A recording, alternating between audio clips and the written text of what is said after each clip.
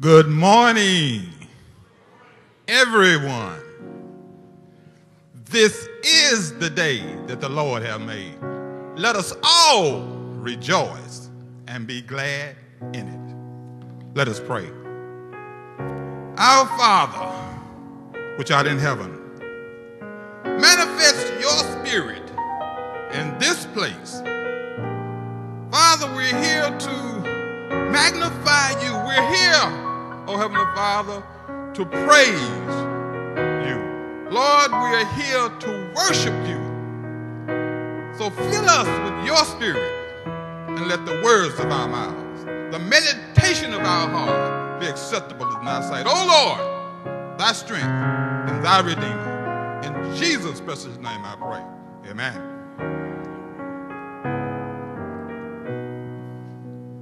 Let us continue praying. Our Father and our God, we thank you. We thank you for bringing us together in your house today. We thank you that you are prayer answering God.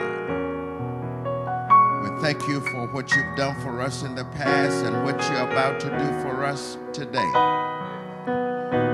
Lord, we pray that you will come into this place and hear our prayers and let our cries come unto you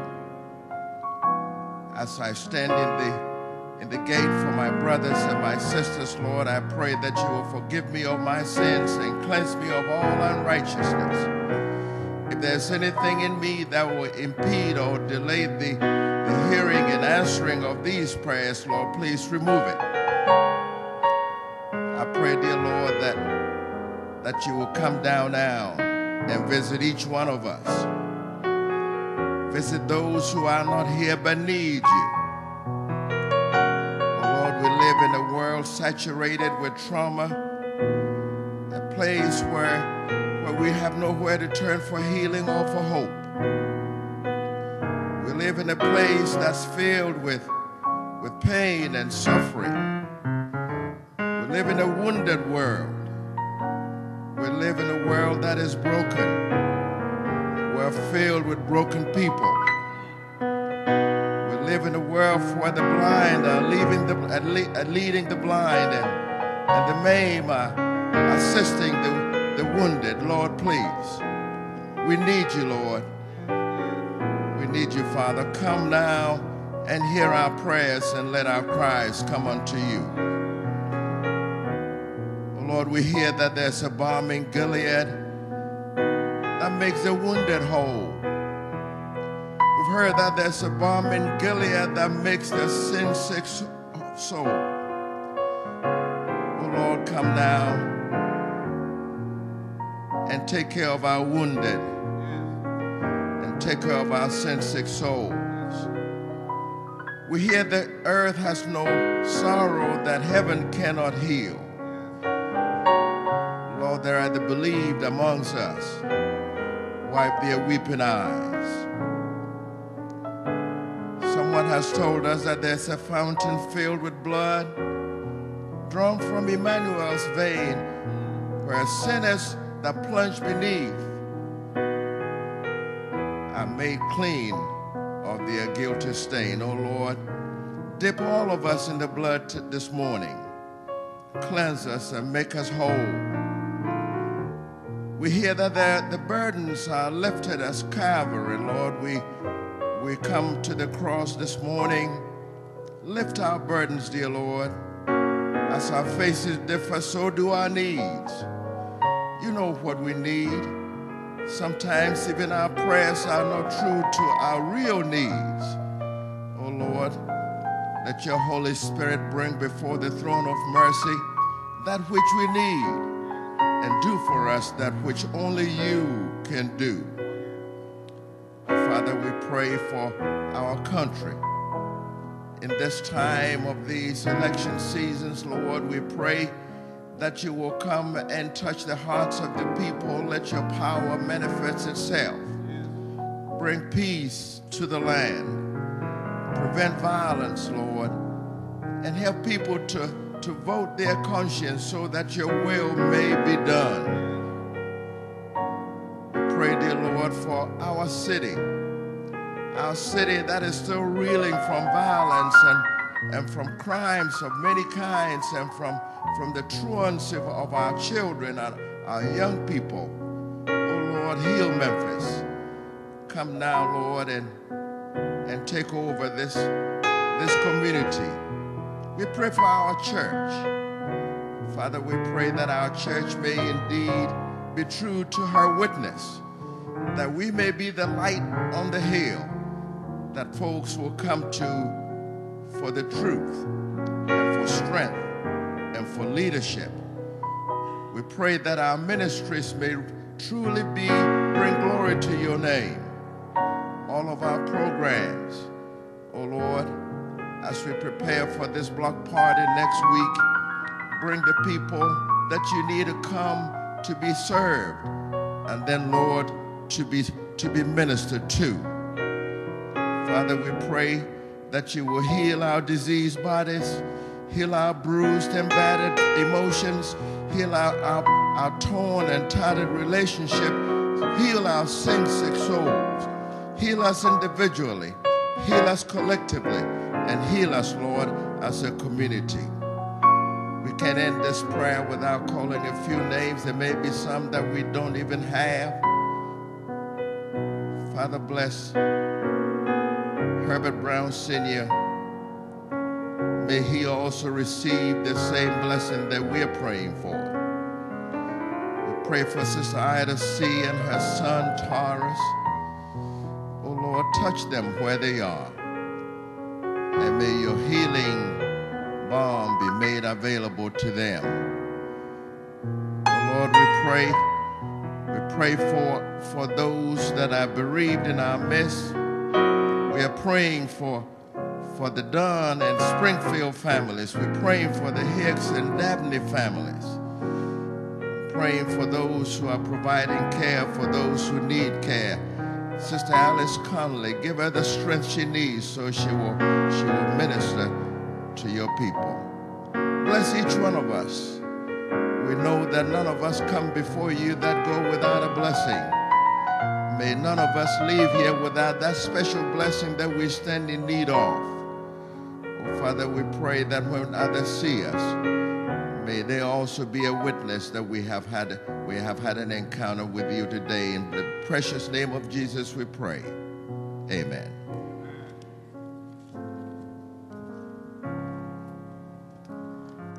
Lord, as we continue to call upon your name, Father, we just want to take a few moments to say thank you, Father. We thank you for allowing us to see another day, Father. But not just any day, we thank you for letting us see another Sabbath day. Lord, we know that some did not see today, so we just want to give you all the honor, praise, and glory, Lord. We want to thank you. Thank you for allowing us to assemble here this morning, Father, to lift up your holy name. Lord, we want to send a special, special thank you, Father, to you for watching over and blessing and keeping the 60,000 Pathfinders, dear Lord, who descended upon Gillette, Wyoming this week, Father. We want to thank you so much for keeping your hand on them, Father, through the storms, the wind, the rain, the mud, the trials, dear Lord. But praise God, there were triumphs, Father. We want to thank you, Lord, for the leaders, dear Lord, who took it upon themselves to, to gather together hundreds of pathfinders from their various cities. Uh, we thank you for the for the GC leadership, Lord. We thank you for the conference leadership. We thank you for the pastors. We thank you for the youth leaders.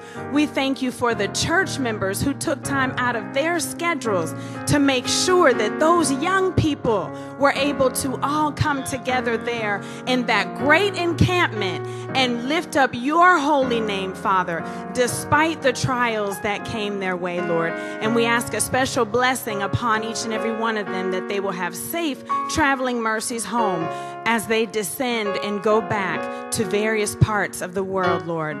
Lord, we thank you, Father. You have been such a great God to us, and we thank you for everything that you have done for us, and we thank you for everything that you're going to continue to do for us. Is our prayer in Jesus' name. Amen. before we either read or recite, depending on how good your memory is, our fourth commandment, I want to just share a quick testimony. Because, of course, we know our fourth commandment um, talks about us remembering the Sabbath day. It is our obligation, and I take it as a personal responsibility of mine, to make sure that I share with others about the Sabbath because the Sabbath is a gift, it's a blessing. And it's not just our gift, it's not just our blessing, but God gave the Sabbath to the entire world. And so I like to take it upon myself to make sure that I share that with others. Something very interesting happened this past week at work. As of course, my coworkers know that I observe the Sabbath because I tell them on a regular basis. Um, but instead of, I've noticed that the conversation has shifted from just telling me to have a great weekend, enjoy your weekend, to have a happy Sabbath, enjoy the Sabbath. And one of my coworkers told me that yesterday, and I, I stopped because, you know, you're not used to hearing, you know, happy Sabbath at work. And I was like, thank you so much. And then she went on to say, I'm going to be, you know, kind of busy this weekend, but I'm going to stop and make sure that I take some time to rest and reflect on the Lord. That's all God is asking us to do is make sure that we share his word with others so that so many, so many can be saved. So at this time, if you would please stand with me and turn in your Bibles to Exodus chapter 20, verses 8 through 11. And again, we, you can either read it, you can recite it, depending on how good your memory is. All right. Remember the Sabbath day to keep it holy. Six days shall thou labor and do all thy work. But the seventh day is the Sabbath of the Lord thy God. In it thou shalt not do any work, thou, nor thy son, nor thy daughter, nor thy manservant, nor thy maidservant, nor thy cattle, nor thy stranger that is in thy gates. For in six days the Lord made the heaven and the earth, the sea and all that in them is, and rested the seventh day. Wherefore the Lord blessed the Sabbath day and hallowed it. Enjoy the Sabbath day. Amen.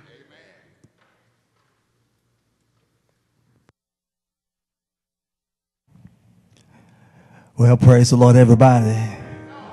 Amen. We're going to do a song that want you to join in with. The song says, All of my life I've never known you to fail. You remain the same, and wonderful is your name. Amen. So, a song says, the hook of the song says, For the rest of my life I'll serve him. How many you plan on serving him for the rest of your life?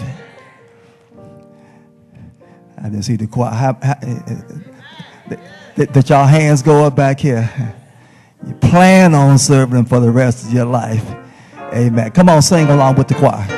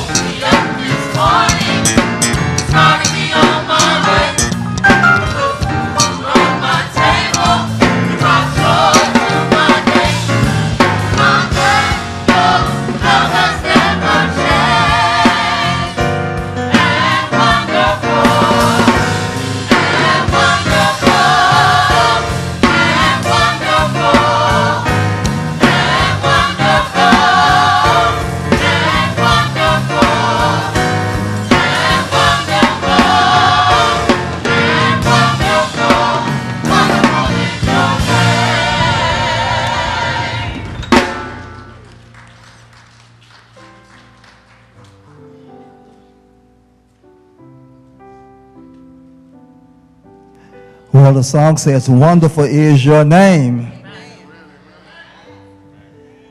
All right. Well, this is your turn to sing. Our hymn is hymn 524. It should be on the screen as well. Hymn 524. Tis so sweet to trust in Jesus.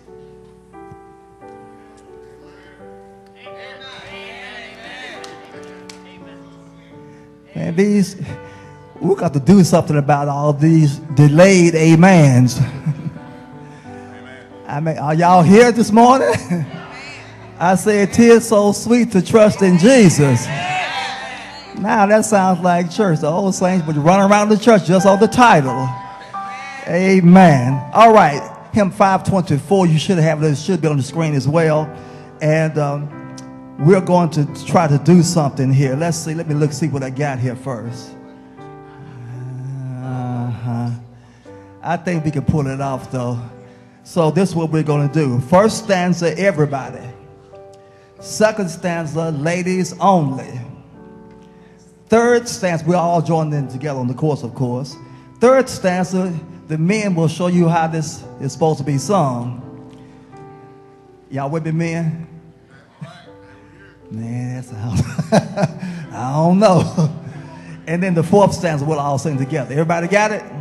Let's stand and sing. Everyone standing?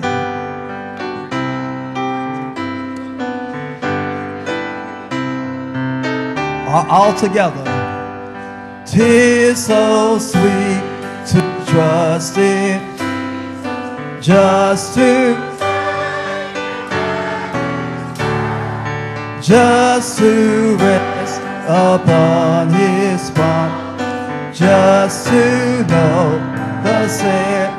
Come on, ring it out. Jesus, Jesus, how I prove Him more and more. Jesus, Jesus, pray. Oh, for grace. All right, ladies, are you ready? Ladies, are you ready? All right, sing, ladies.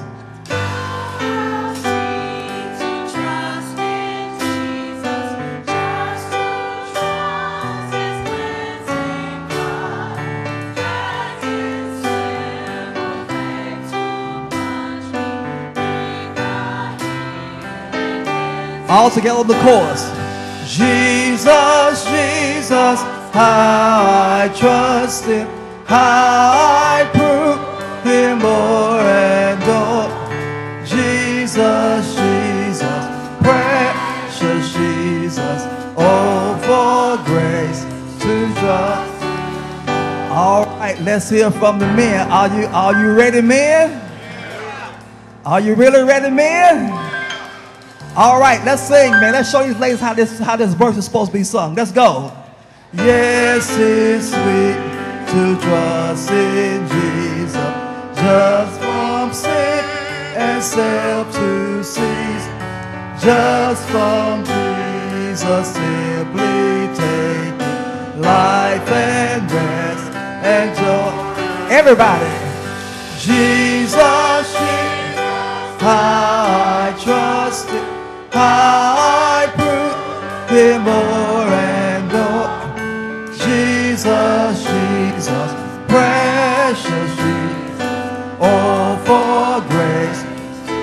Everyone on the last stanza. I'm so glad I learned to trust in precious Jesus, Savior, friend.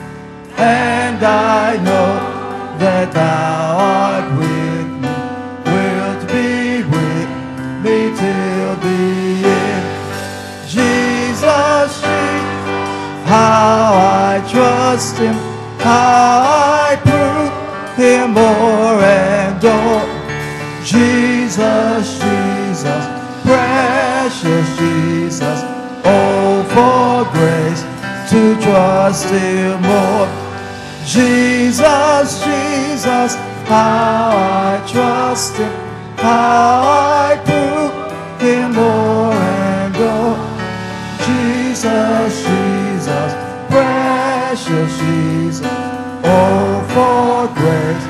to trust Him more. Amen. You may be seated. Today we have a special guest that's going to come now and to render us a selection. He's all the way from California. Amen. Amen. He's all the way from California. Come on, Longview. Let's give a warm Memphis welcome to Mr. Martin Scott as he's coming to sing for. Come on, y'all. We can do better than that.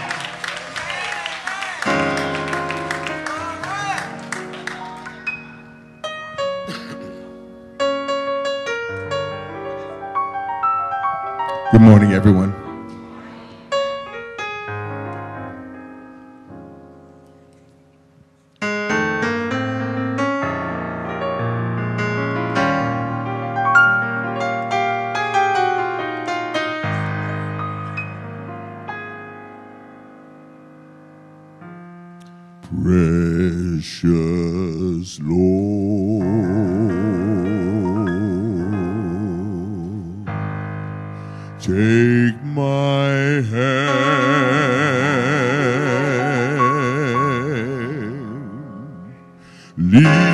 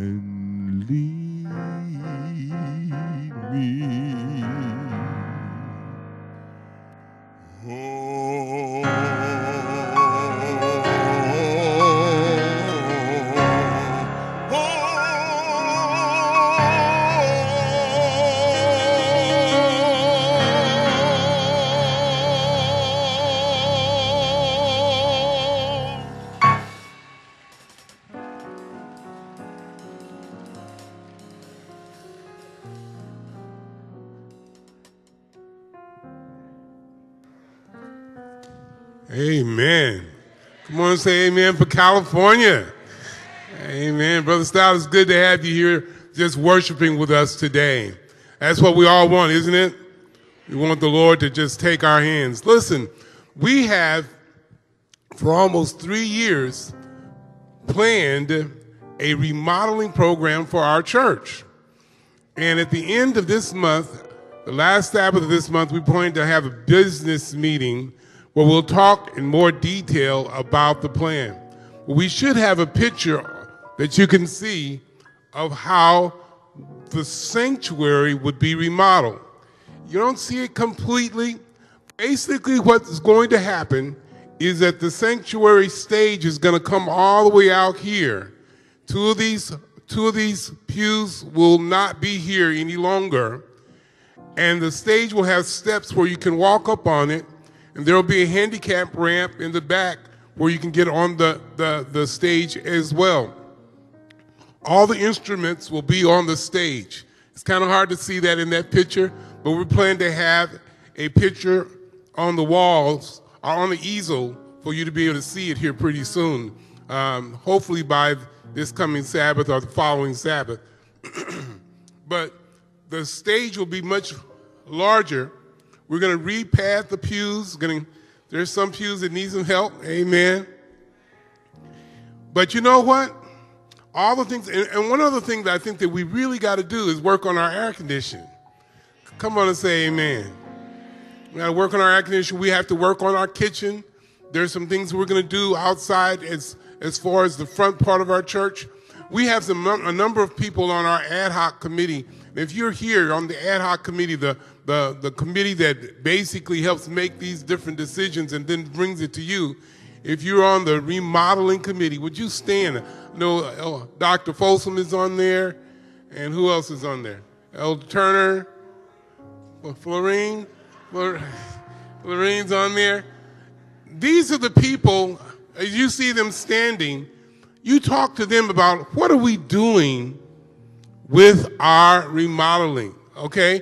How are we going about it? What are, gonna, what are some of the changes? These people understand the different changes.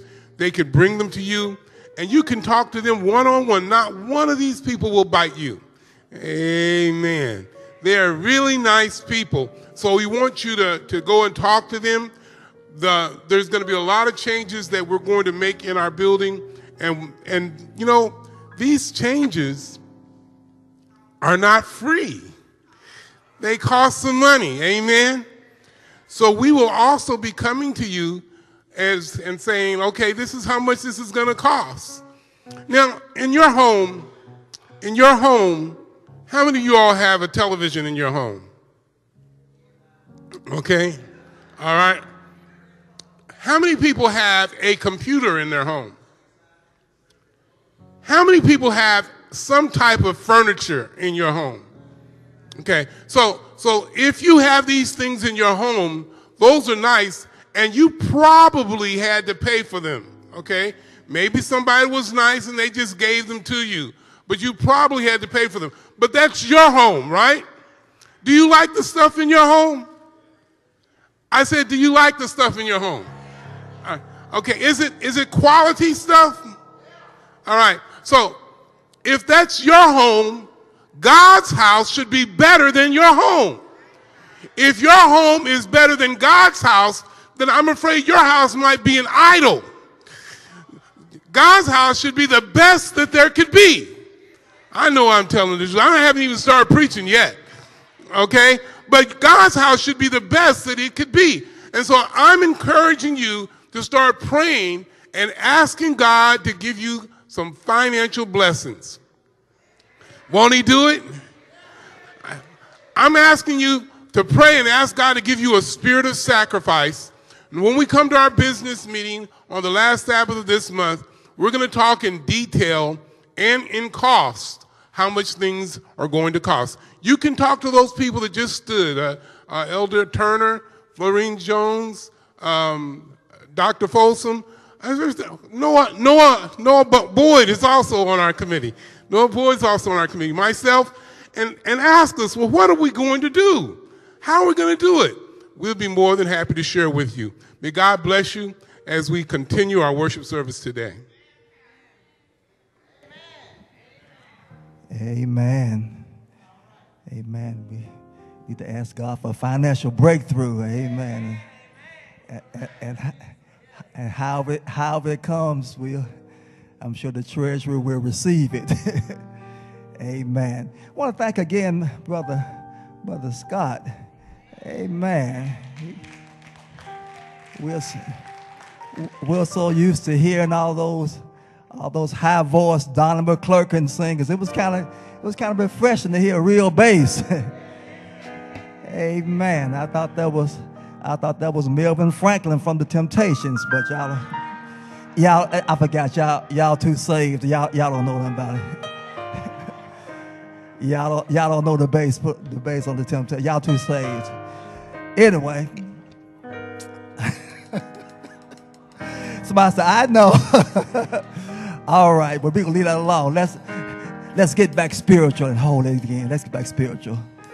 But um, well, thank you again. Really want to thank you again. So anytime you're in town, and I also understand that he's he's kin to Minnie and and Luce. I think he's a nephew or something.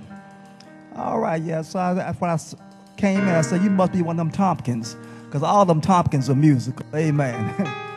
so let's give him another heart. Amen. Thank you so much.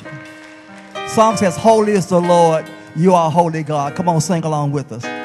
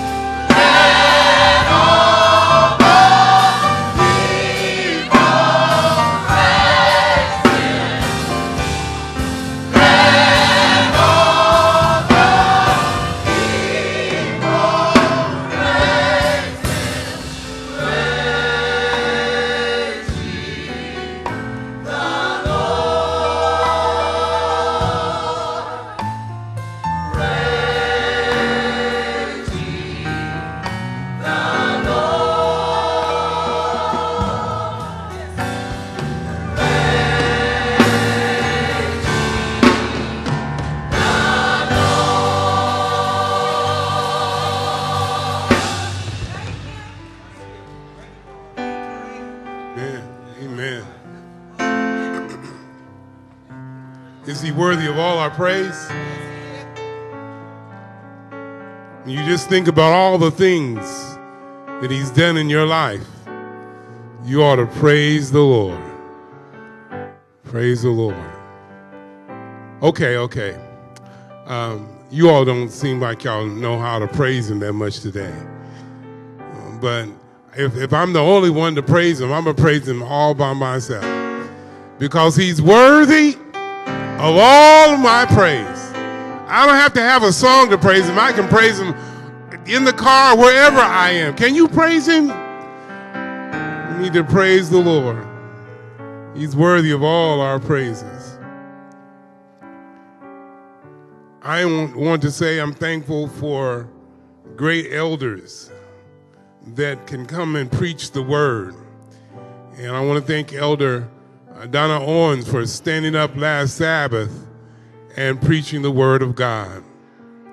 Um, I was visiting in Jackson, uh, Tennessee, where we had to ordain a uh, deacon there, and the, the pastor there is not ordained, and so he asked if an ordained elder could come and do that, and so that's where I was on on that past Sabbath, and I missed you all tremendously. I miss the choir, Amen. I miss each person here in the church. Uh, it's something about just worshiping together as a family that makes a difference in our lives. And I'm thankful for each one of you. I hope that you enjoy worshiping here too. It's, it's a privilege to come to Longview. Amen. This morning, let's bow our heads as we seek the Lord in prayer. Father, which art in heaven, speak through your word again. In the name of Jesus, we pray. Amen. Would you turn in your Bibles to the book of Daniel, chapter 12 and verse 1? Daniel, chapter 12 and verse 1. This is going to be our theme text today. And I'm going to stay in it for most of the time. Every now and then I might go a little bit because the Word of God, it should be here a little, there a little. Uh, that's why sometimes I don't have you to stand because I, you would have to stand all the time because I'm giving you a whole lot of text to give. I'm not just going to give you one text and close the Bible, all right? I'm going to give you several Bible texts because I want you to understand that that's the book that we use when we share God's word. Daniel chapter 12 and verse 1. Do you have it? And at that time Michael shall stand up, the great prince which stands watch over the sons of your people. And there shall be a time of trouble, such as there never was since there was a nation, even to that same time. And at that time, your people shall be delivered, everyone who is found written in the book. I'm extremely excited when I read Daniel. Daniel is one of my heroes of the Bible. I like his job. He was always able to stay clean. I, I like, I like, he probably got really paid because he was a top government official. Daniel was a prophet of God. Somebody says, dare to be a Daniel and dare to stand alone, dare to have a purpose firm, dare to make it known. God has some secrets that he shared with Daniel, and Daniel gave this information to the world. But there were some things that even Daniel didn't understand. There are some things that God said, shut up the book, Daniel, close it up. It's for the time of the end. Many shall run to and fro, and knowledge shall increase. We must obey God on what we know, what we're clear on. There are some things in the Bible that you and I do not understand. Nobody knows it all. Am I right about it? There are some things you have to scratch your head and say, I don't really understand that. And that's what happened to Daniel. There are some things that God showed him that he didn't understand. However, if anyone will do his will, he shall know of the doctrine, whether it is of God or whether I speak of myself. That's what Jesus said in John 7 17. So if you know God's will, do what you know. 2 Corinthians 8:12 for if there is first a willing mind, it is acceptable according to what one has, not according to what he has not. God says the information that you already have, act on that. Be obedient to what you know. In Revelation 22, verse 14, the Bible says, Blessed are those who do his commandments, that they may have the right to the tree of life and may enter through the gates uh, into the city. It is, it is imperative that we do what we know to do is right. Am I right about it? Prophecy is a gift from the Holy Spirit. And Daniel tells us about a hot date. That's, that's the name of the, the, the sermon today, a hot date. Let me read it again. Daniel chapter 12, verse 1. And at that time, Michael shall stand up, the great prince which stands watch over the sons of your people. And there shall be a time of trouble, such as there never was since there was a nation, even to that time. And at that time, your people shall be delivered, everyone who is found written in the book. This text is eschatological. Eschatological means something that will happen at the end of time. Something that happens just before the world is destroyed. This text is talking about something that's going to happen before this world is over. This text is also cataclysmic. Cataclysmic means some kind of event that will happen that may destroy the world. It is a cataclysmic text because this text tells us that there is going to be a time when there's going to be so much trouble, the whole world, the universe will be affected by this text. The Bible also in this passage lets us know that it's inspirational. The Bible lets us know that even though things are going to go wrong, God is still in charge. It is a hot date. Well, I might need to explain what a date is.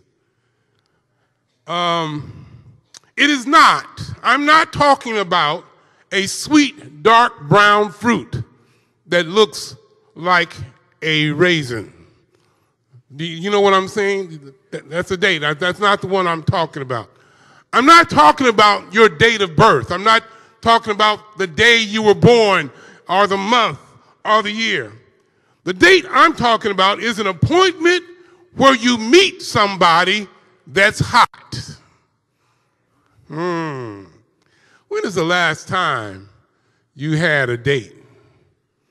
Hmm. Y'all remember having dates? Y'all, y'all, y'all, y'all don't do that no more? And when's the last time? When's the last time you had a hot date? Me, Holy Ghost. A hot date. Uh, when you have a date, there's at least three things that you should do. You should, you should prepare for the date. Make sure you take a shower. Help me, Holy Ghost. Make sure you look good. Brush your teeth. All those kind of things. You, you should have your clothes all laid out. Can, is anybody listening to me today? You should prepare for your date. Not only that, if you're going to have a date, you should have a purpose. What you plan to accomplish. I would tell my daughter before she would go on a date, you, you had better know already what you're going to do. Oh, y'all not listening. Y'all not going to talk to me today. You, you, you already better know how far you're going. Don't wait till you get to the date and say, I don't know what I'm going to do. You better know before you go on the date. What is your purpose? What do you plan to do on this date? Then thirdly, you should be punctual. Am I right about it? If you're going to have a date at 7 o'clock, you should be ready a little bit earlier than 7. Listen, to this hot date. It is found again in Daniel chapter 12 and verse 1. And at that time shall Michael stand up, the great prince which standeth for the sons of thy people. And there shall be a time of trouble, such as was not since there was a nation, even to the same time. And at that time thy people shall be delivered, everyone that's found written in the book. I want to talk first about all about the preparation of the date. The Bible says at that time Michael shall stand up. Do you see that? Who is this Michael that they're talking about? Let's go to the Bible to see. It's still in the book of Daniel. Daniel chapter 10. What book did I say, everybody? Daniel chapter 10, verse 10 through 13. Let's go back a few chapters. Daniel, this is the first time Michael is mentioned in the Bible. Daniel chapter 10, starting with verse 10. Suddenly a hand, Daniel, Daniel is praying in chapter 9, and he didn't get the answer to his prayer. But while he was praying, a hand touched him. All right? An angel touched him. Suddenly a hand touched me, which made me tremble on my knees and on the palms of my hands. And he said to me, O Daniel, man greatly beloved, understand the words that I speak to you and straighten upright, for I have now been sent to you. While he was speaking his words to me, I stood trembling. Then he said to me, Do not fear, Daniel, for from the first day that you set your heart to understand and to humble yourself before your God, your words were heard, and I have come because of your words. But the prince of the kingdom of Persia withstood me 21 days. And behold, Michael, one of the chief prince, came to help me, for I had been left alone and there with the king of Persia. The king of Persia is the enemy of God, Satan himself. But Michael came to help this angel. This angel is none other than Gabriel. And for 21 days, Lucifer was so strong, he stopped Gabriel from helping and getting an understanding of this vision for 21 days. And then the Bible says Michael came in and he helped me.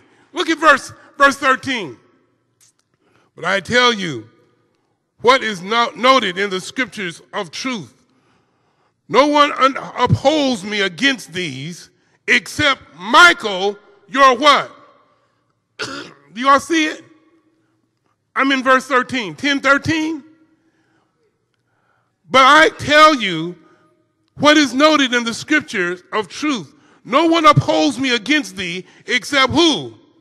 Michael, your prince. Notice how it keeps saying Michael is the prince. First, it says he's the chief prince, and now he says he's your prince. In other words, Michael speaks for you. Michael represents you.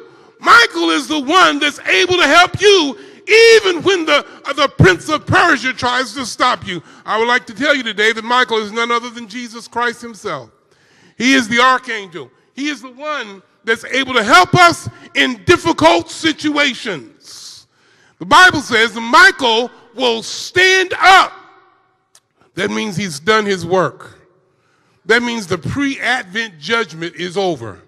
He has investigated every name of every person that wants to be saved, and now he's made a decision of who's going to heaven and who's not going to heaven. When Michael stands up, all cases have been decided. When Michael stands up for the first time in salvific history, it's once saved, always saved. It's once lost, always lost. When Michael stands up, no other prayer can be forgiven because everybody has made their final decision. How do you know that, Pastor Horton? Turned in Revelation chapter 22 and verse 11. The Bible says, He who is unjust, let him be unjust still. You see that? He who is filthy, let him be filthy still. He who is righteous, let him be righteous still. He who is holy, let him be holy still. It is a continual lifestyle. The people that make it through these times when Michael stands up, they live before God without sin. Those people that are not right with God will never turn right with God. They're lost and they will always be lost. The saved will always be saved. That's amazing. That's when Jesus comes out of the most holy place because the day of atonement is over. All cases have been decided. Everybody is clear. The Holy Ghost has gone upon the earth and sealed all those that have decided to serve God. And there will be no turning back. Either you're on the side of God or you're on the side of Satan. When Michael stands up, it is that Jesus has completed his work. Ladies and gentlemen, that is a hot date. I don't know exactly when it's going to happen, but when Jesus stands up and he says, Everything is finished, everybody's case is decided, that is a date that I hope you and I are on the right side of, of Jesus. I hope that we've made our calling and election sure. That is something that we need to prepare for. That's why we're here today, because we want to prepare for that date. Am I right about it? We want to make sure our lives are covered with the righteousness of Christ. It is not how hard you work at it, it is your relationship with Jesus that makes the difference. Am I right about it? It's, it's your. What, what it really means when he says those that are righteous are righteous still mean that they've gotten so close to Jesus that they don't want to turn around no more. They don't want to give up anymore. And even if they have fallen, he has covered them with his righteousness. Hallelujah. You don't have to be afraid of the Day of Atonement. You need to know Jesus. If you know Jesus, there is no fear. Am I right about it? When you know, you know, we, we often do things that we, we act like we're not afraid. You, how many of you all have gotten on a plane and flown somewhere before? All right. Did you actually get the resume of the pilot? You don't, you don't know who he is, do you? You probably don't know his name, his cousin, or nobody, all right? But you got in that plane, didn't you? You, you we paid the money, got in the seat, so we put our seatbelt on, and we prayed. Am I right about it? Especially if there's some turbulence going on. Nobody here that got on a plane when there was turbulence going on got up and said, I'm sorry, flight attendant, please open the door and let me get out. Nobody did that. I don't care how, you know what? Sometimes in the church of God, there's going to be some turbulence. Don't you let nobody turn you around. I don't care if they don't say happy Sabbath to you. I don't care if they don't like you. If they talk about your mama, I'm on my way to the Canaan land. If you don't go, don't hinder me. Oh, I know I'm telling the truth today. The thing is, is that those that follow Jesus, one day, one day Jesus will say, He that is righteous will be righteous eternally.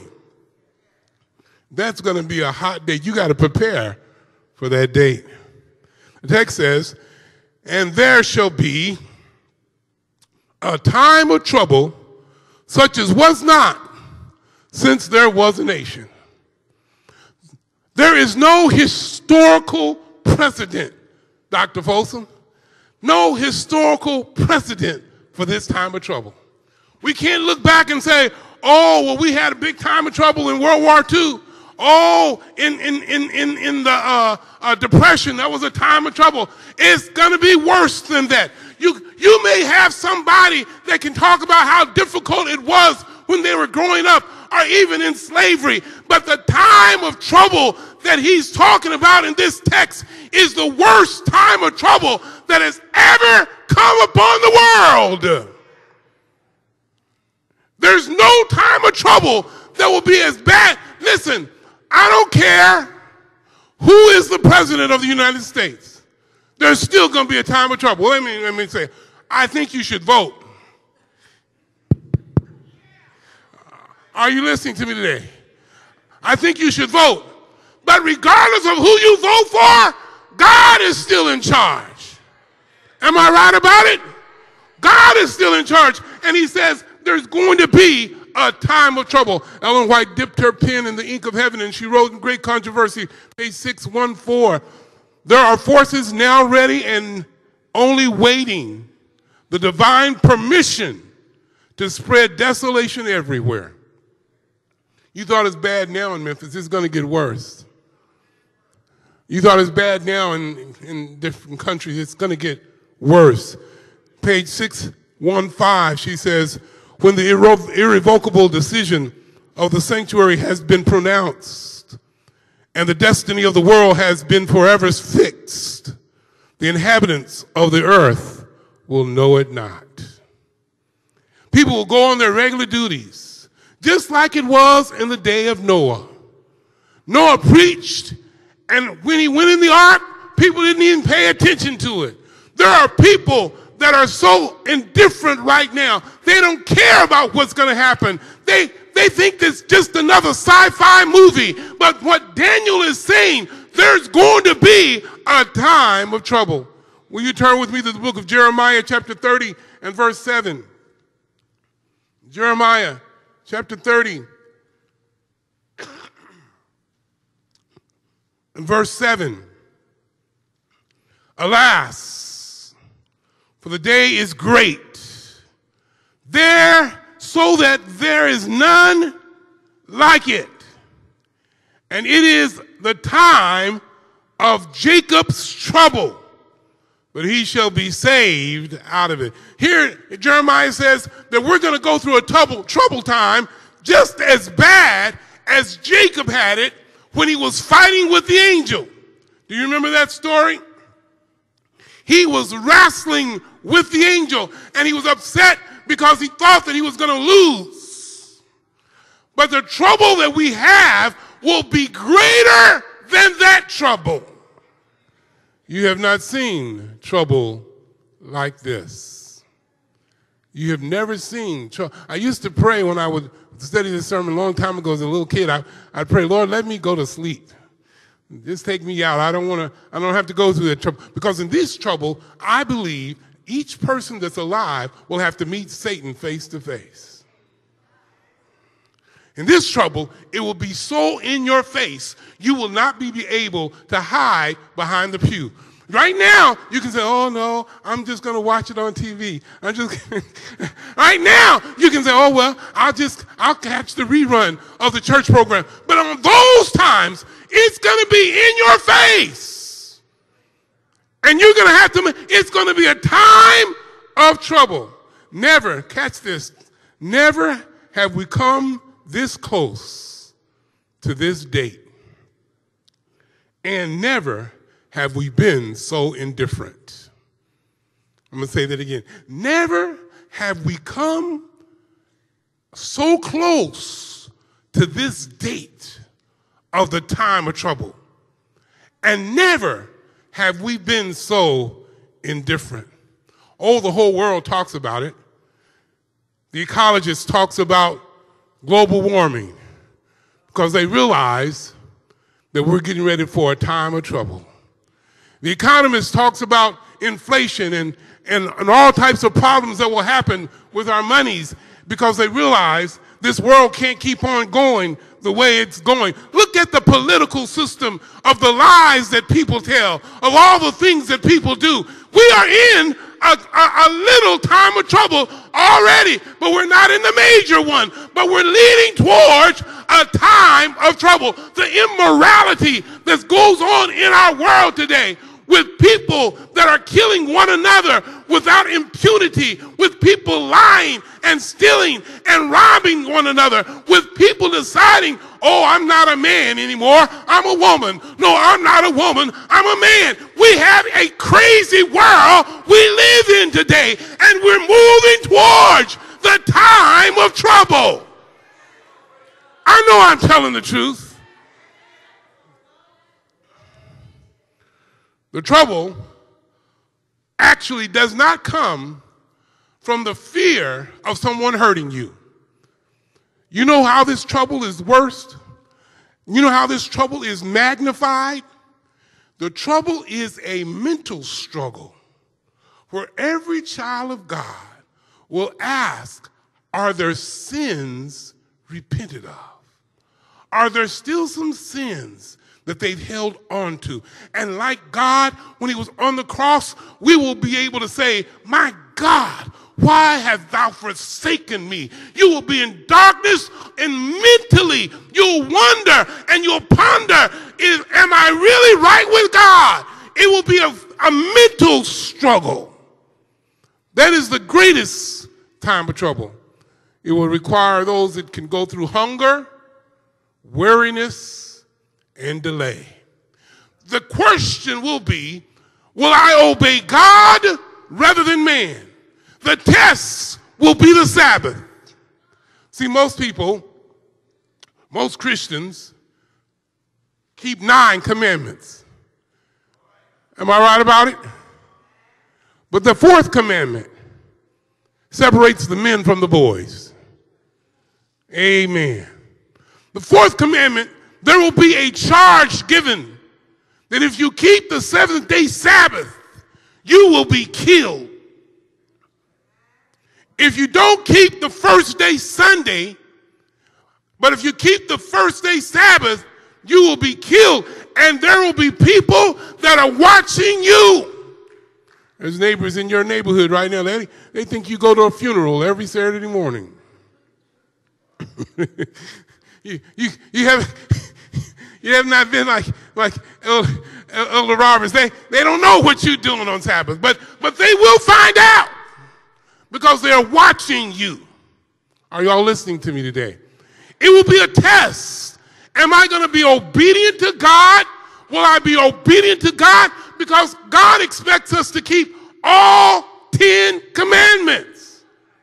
Amen, Pastor Horton. You can't just keep nine and think it's okay.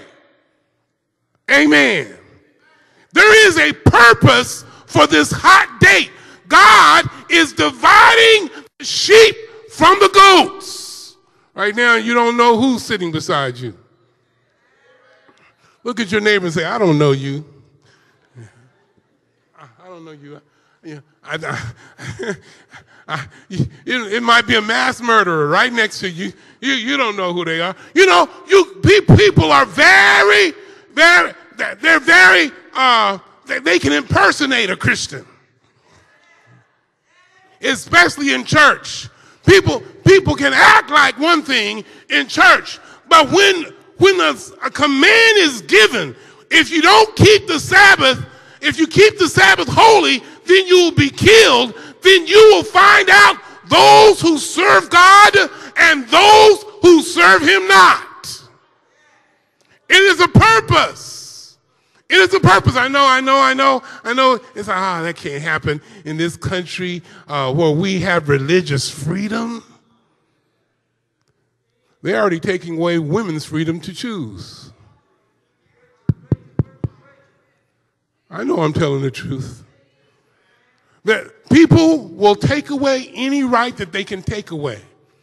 And the Bible lets us know there is coming a time when you will either have the seal of God in your life or you'll have a mark of the beast. Come to Wednesday night prayer meeting. We'll be talking about that. The whole point that I want you to understand is that if you're not serving God right now, if like Daniel, you have not purposed in your heart to serve God, you will not make it through the time of trouble. If you can't be right with God, if you can't live right for God right now, then when a great time of trouble comes, you will not make it. And so my job is to get your purpose right. Amen. There's going to be a hot date is coming pretty soon. I don't know when the date's going to be, but I do know it's coming, and you ought to get ready for it. Not only ought you to prepare, but you ought to have a purpose. It says, I'm going to serve God. I'm going to trust Him. I'm going to be obedient to His commands. Bible says in this passage, and at that time, this is my favorite part, and at that time, your people shall be delivered. Everyone who is found written in the book. Do you know God has a contact list? I, I don't know people's phone numbers anymore. I'll just say, call Sister Harold. And my phone will call Sister Harold because she's in my contact list. I'll call, I'll say, call, call Brother Wilborn and it'll just call. I don't remember your number, Brother Wilborn, because you're in my contact list. Are y'all listening to me today? God has a contact list. He knows the people that have been talking to him, and he says, I've written them down in a book. Hallelujah. The Bible lets me know that God has a list of everybody's name that want to serve him. Now, there are ways that you can get taken out of God's book. Every now and then, I will delete somebody's name. Are y'all listening to me today? Every now and then, that name is not, I can't be talking to that person no more. And I have to delete. Does anybody know what I'm talking about? God is so merciful that he keeps your names on the book. But if you decide not to follow him, it comes a time when Michael stands up that he's deleted the names he is not going to write them in again. See, when God, you start out with your name in the Lamb's book of life. Everybody, everybody's got their name in the Lamb's book of life. I don't care what country they're from. I don't care what religion they have. They keep the, God expects to save everybody. But if he ever takes your name out, it doesn't go back in again. That'll mess up the books of heaven. He, he, once he takes it out, it's out forever. Once it's, it's holy, it's holy forever. It's unrighteous, it's unrighteous forever. And when he stands up, his contact list is complete. Bible says, and at that time shall Michael stand up. It says, and that time thy people shall be delivered. Hallelujah. I don't care how bad the trouble is. God says, I'm going to deliver my people. Catch this. God does not stop the trouble around the Christian, but he stops the trouble inside the Christian. I'm going to say that again.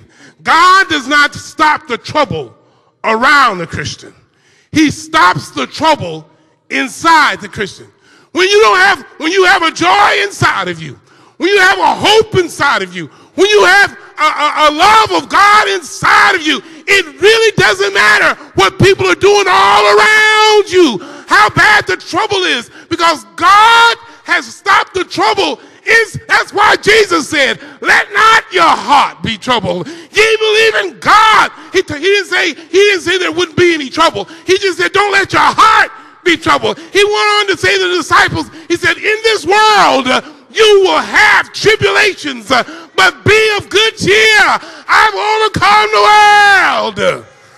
That's what I like about him. He's not going to stop the He's not going to steal the storm on the water. He'll steal a storm in your heart. He's so much God. He does his best work in storms, in troubles. He does his best work. He wants to show the devil and unfallen worlds that he's got somebody that will be obedient to him even when there's all sorts of troubles all around. Listen, I don't know what trouble you're going through today, but God may not get rid of your trouble. He just may give you a heart that even when you have the trouble, you can have peace. Amen. God will deliver. Didn't he deliver, didn't he deliver Daniel? Didn't he deliver the three Hebrew boys? Didn't he deliver Noah? If he delivered, why not everybody? If our name is on the Lamb's book of life, then God says, I will deliver. But not only will I deliver, but I will deliver at the right time.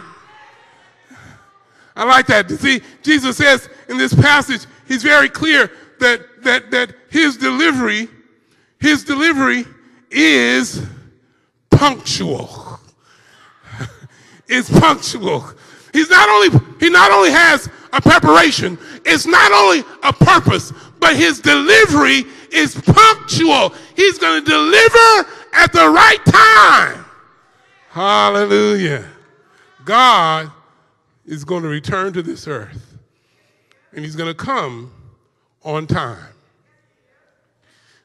I don't know what time he's going to come, but I know he's coming. It may be at morning when the day is awakening. It may be at midday. It may be at twilight. It may be perchance in the darkness of midnight when Jesus will come in the fullness of his glory and receive from the world his own. Songwriter says, Oh Lord Jesus, how long, how long till we shout that glad song? Christ returneth. Hallelujah. Hallelujah. Oh man. One day he's coming back again. I remember hearing the sermon many years ago as a little boy in Oklahoma City, and I realized I wasn't ready for Jesus to come. He has taken for me a long time, but he is punctual. At the right time, when he's ready, he's gonna come. We don't know the time. All we have to do is be ye also ready. My old elder in the church from Waco would say, Our God shall come and shall not keep silent. A fire shall devour before him, and it shall be very tempestuous around about him. He shall call to the heavens above and to the earth that he may judge his people. Gather my saints together to me, those who've made a covenant with me by sacrifice. Psalms chapter 50, verse 3 and 5. God is punctual. He is never late. Hallelujah. When he comes, he already knows the date. He can't tell you. If he would tell you, you'd act a fool all the way up until that day. Am I, am I right about it? He can't. The Adventist church thought we knew the date. We were wrong. We were disappointed. It's okay to be wrong. But we had to study and we realized that no man knows the day nor the hour. But it will be a hot date. The Bible says it'll be a, a, a, cloud that comes from the east. It'll be a small cloud that comes and it gets closer and closer to the earth because now Jesus, after he left the earth, he only travels in clouds and he gets closer to the earth. It will get brighter and brighter. And then his voice, the Michael's voice, the, the voice of the archangel will be so melodious and so strong that those that are righteous and that are dead will hear his voice and come forth. And when they get out of the graves, they'll say, Oh, death, where is thy sting? Oh, grave, where is thy victory? Those that are righteous, that are alive, will be caught up to meet him in the air. That is a hot date. Am I right about it? That is a hot date, a date that you don't want to miss. The good news is that God will not wait to deliver you just in the latter days. He can deliver you right now. he, he, as, as my friend would say, rational. He, he can deliver you in this moment. He's a delivering God. He's so much God that if you go to, in fact, before you call, he will answer. Amen. I kind of get excited about that because I realize God I serve wants me to be ready for the hot date. It's going to be a hot date. I, you got to prepare for it. You got to have a purpose. You got to be punctual. You can't be getting ready. You got to be ready. When you wake up this morning, you ought to get ready. When you go to bed at night, because you don't know if that's going to be your last night, you got to be ready. When you're driving in the car on, on, on Highway 40, you better be ready. Am I right about it? When you're on the streets of Memphis or wherever you live, you better be ready.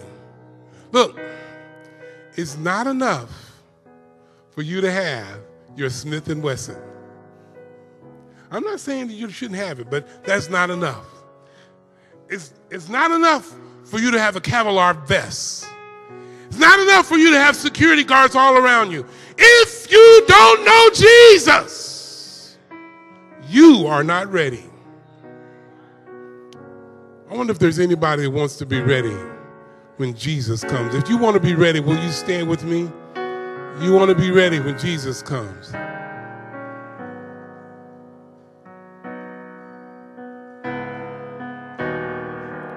You want to be ready.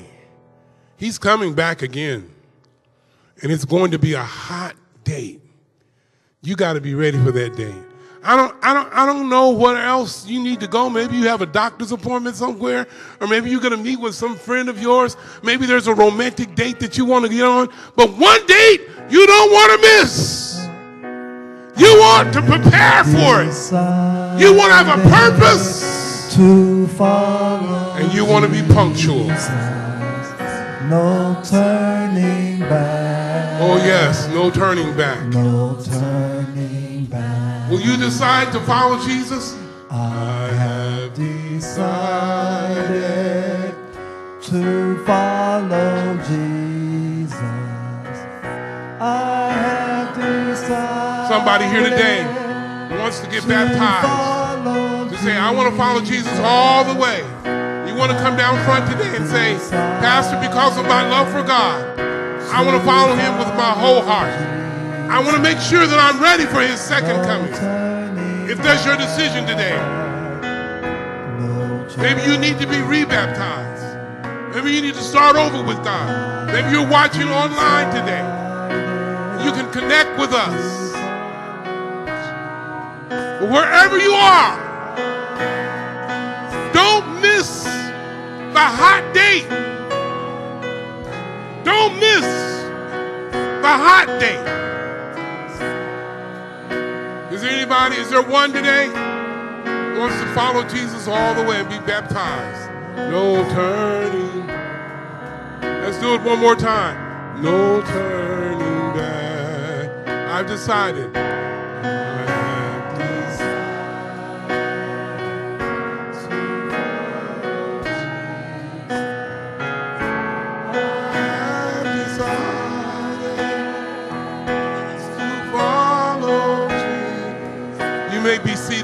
Presence of the Lord today.